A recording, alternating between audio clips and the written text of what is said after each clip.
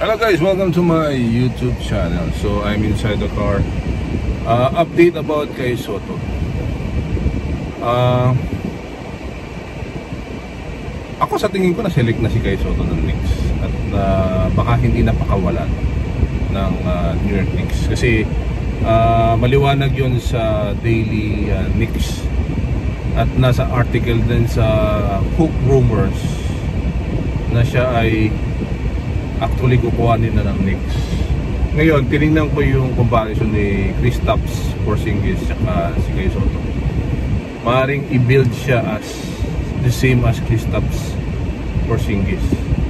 Ngayon, ang pick ng New York Knicks ay nasa round 11 sa first round and round 2 pick number 42. So maaaring hindi na sila magpatumpik tumpik para kuhanin ng ating kababayan Tyson. Kaya hindi tayo magugulat guys na kuhanin nga ang ating kababayan na si Tyson. Magamat meron pa siyang 11 workout. Pero sa latest talaga, walang ano, walang uh, bakas ng private workout. Talagang private. guys, ito talaga ito to. Private talaga yung workout. Ngayon, lalabas yan in a few days or maaring sa June 23 na. Kasi ayaw nilang uh, patingin ko ah ayaw nilang makita talaga na uh, ipakita. Kasi kung sakali magkaroon sila ng interest pwedeng i-pick din ng ibang team lalo na Oklahoma. Nandiyan din ng Golden State. So ako in, in short parang ang dating eh uh, tingin ko pinagkakaguluhan talaga siya at pinag-aagawan. Bagamat wala siya sa NBA Combine at League Ignite uh, Camp.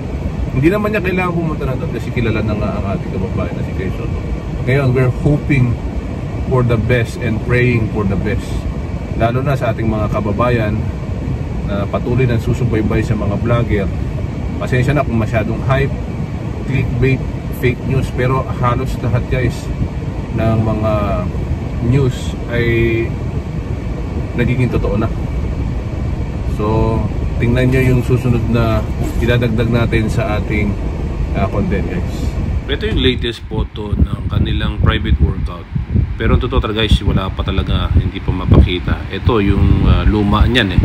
Pero dito talagang uh, nagkaroon ng uh, interest talaga ang New York Knicks.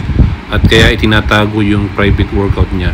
Baka makita pa nga katulad ng sinabi ko baka makita pa siya. Kaya abangan natin si Kai Soto sa Knicks mapupunta